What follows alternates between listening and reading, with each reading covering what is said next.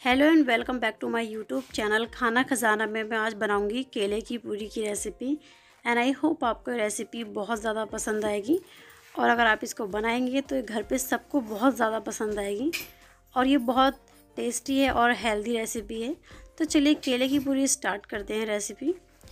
तो सबसे पहले मैंने यहाँ पर दो केले लिए हैं और इनको एकदम फाइनली कट कर लेना है। तो देखिए इस तरीके से मैं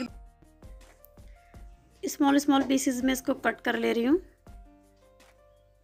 तो आप कैसे भी इसको कट कर सकते हैं, बस हमें जो है केले को मैश करना है बाद में तो आपको जैसे भी ठीक लगे आप वैसे कट कर सकते हैं।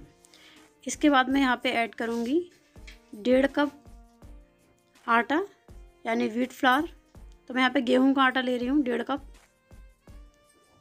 और थोड़ा सा मैंने रहने दिया है, ताकि अगर इसकी ज़रूरत पड़ेगी तो हम इसको थोड़ा सा बाद में भी ऐड कर सकते हैं। और इसके बाद मैंने यहाँ पे एक कप लिया है मिल्क, यानी दूध।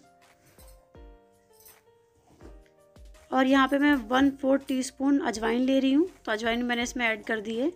और हम यहाँ पे दूध से ही आटे को गूँधेंगे तो चलिए आटे गूँधना करते हैं स्टार्ट।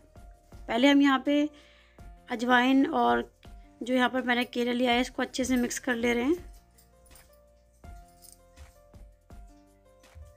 इसको बहुत ही अच्छे से मिक्स कर लेना है। यानी केले को हाथ की हेल्प से अच्छे से मैश कर लेना है। और जो मैंने यहाँ पे दूध लिया है, यहाँ आप पानी का भी यूज़ कर सकते हैं, लेकिन दूध से जो है ये काफ़ी हेल्दी होगा। और इसका टेस्ट जो है पूरियों का ये भी डबल हो जाएगा। तो अब मैं यहाँ पे दूध ऐड करती रहूँगी और इसको अच्छे से जो डो बना रही हूँ मैं, ये जो आटा बना रही हूँ उसको सेट करती रहूँगी। तो आपको एकदम से नहीं ऐड करना है। मैं स्लो प्रोसेस में इसको ऐड कर रही हूँ। पहले थोड़ा सा ऐड कर रही हूँ, फिर इसको मिक्स कर रही हूँ। तो इस तरीके से ही इसको गूंदना है और बीच में थोड़े थोड़े पंच भी लगाते रहना है।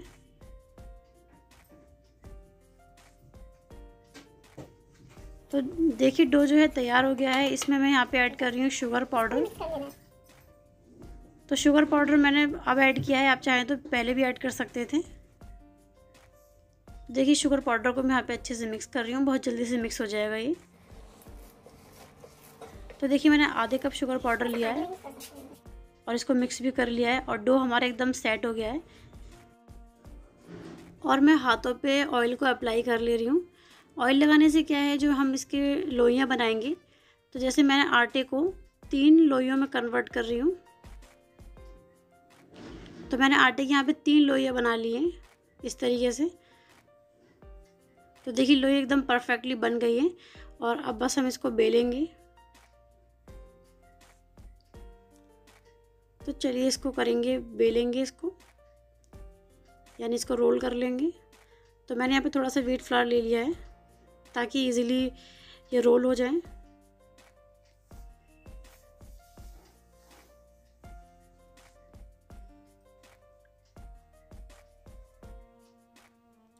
तो जैसे आप घर पे पूरियाँ बनाते हैं सेम उसी प्रोसेस से ये पूरियाँ बनेंगी। जैसे मीठी पूरियाँ बनाते हैं, उस टाइप के प्रोसेस से। तो देखिए, मैंने भी इसको खूब बड़े साइज़ में बेल लिया है। तो आपको ना ज़्यादा थिक बेलना है, ना ही ज़्यादा थिन बेलना है। तो इस तरीके जैसे जैसे पूरियाँ बनती हैं, ऐसे ही मैंने इसको बेला है। इसके बाद मैं यहाँ पे एक ग्लास की हेल्प से पूरियों को कट कर ले रही हूँ।